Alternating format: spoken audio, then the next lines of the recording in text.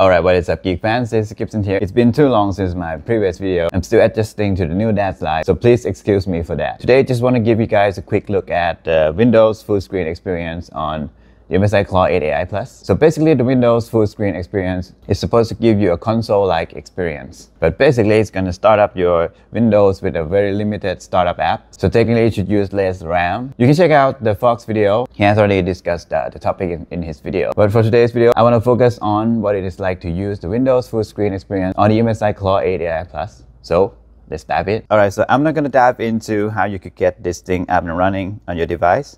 I'll just gonna leave the link in the description so you can check it out. This is the Xbox app in the full screen experience. As you can see, it's very close to what it was before, but just without the um, taskbar at the bottom.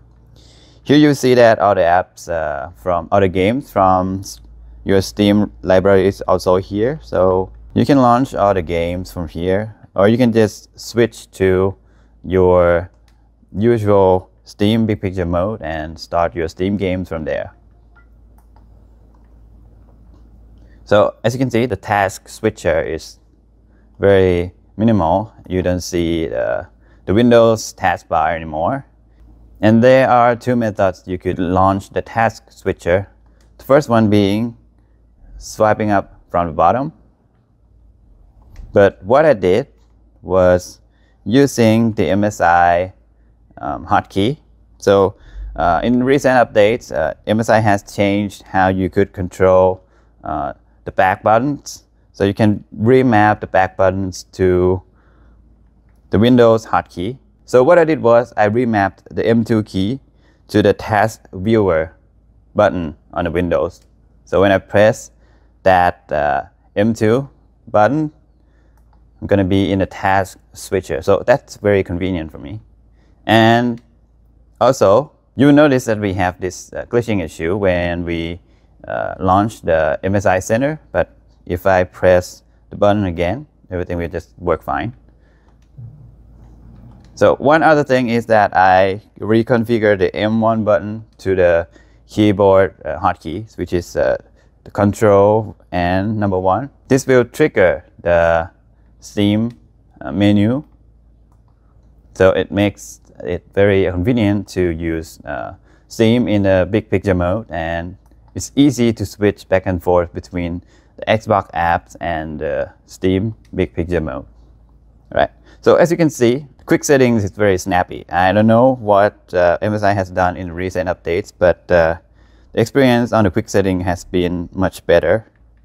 And it's going to be different when you use uh, it with the Xbox controller as well. But uh, this is how it's going to be when you use it in handheld mode. So you have this settings here where you can access the Windows settings. So from here, if you want to adjust anything related to Windows, you can come here and adjust your settings accordingly.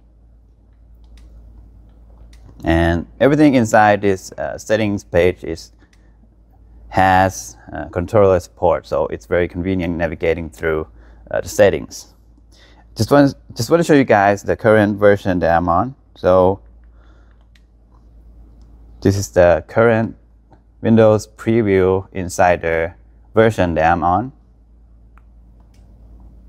And just want to show you guys the current MSI version that I'm on as well. So let's check out the update menu.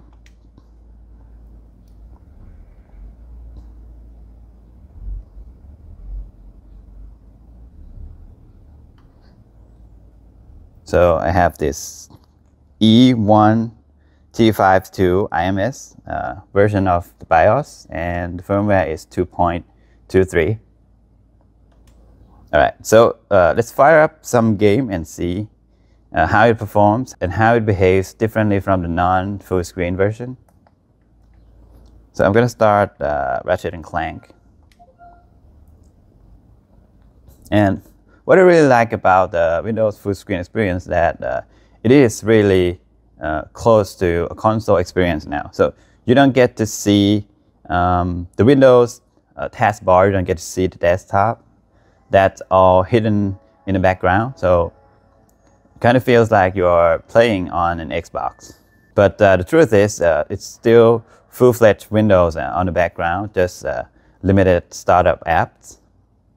So I've been using the, the full screen experience for a few days and I don't notice any performance improvement, but also I don't notice any uh, performance degradation. And you still rely on that uh, hibernation um, functionality uh, like usual. So you don't have any improvement on the sleep mode. You, you still need to use hibernation for um, sleeping and waking up your device and resuming your game session.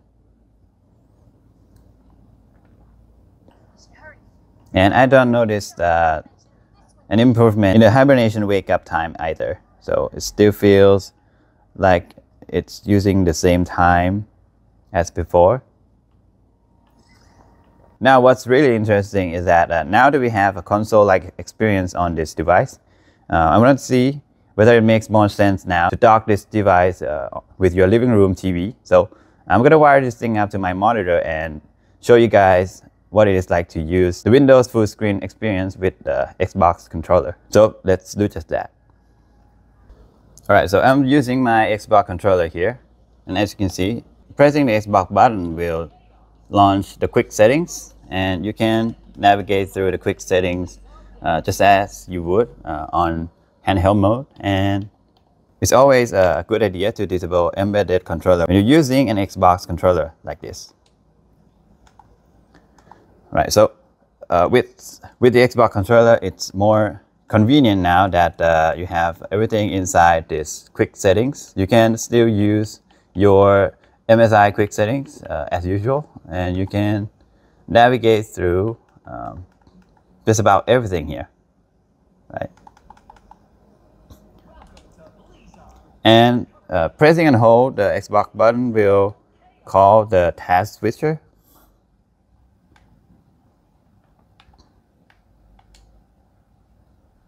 right? But uh, the drawback is that you cannot do, um, you cannot call the Steam menu anymore with this uh, uh, Xbox button mapped to the quick settings. It will just call the, the quick settings, so uh, you could not click on the Steam menu from this page. You can just press back, and hopefully uh, it will go back to the menu. But in this case, it doesn't. So that is still uh, one of the things I I'm still figuring out how to handle. But as you can see, if you are using uh, the Xbox apps as your main uh, launcher, then everything will work just fine. You can just uh, close down your game uh, with, with the X button. Then you can just go back to uh, the Xbox launcher and launch your next game. So as you can see, I think it makes more sense now to dock this with device with your living room TV and treat it like a console. So that's uh, one of the quality of life improvement that I see.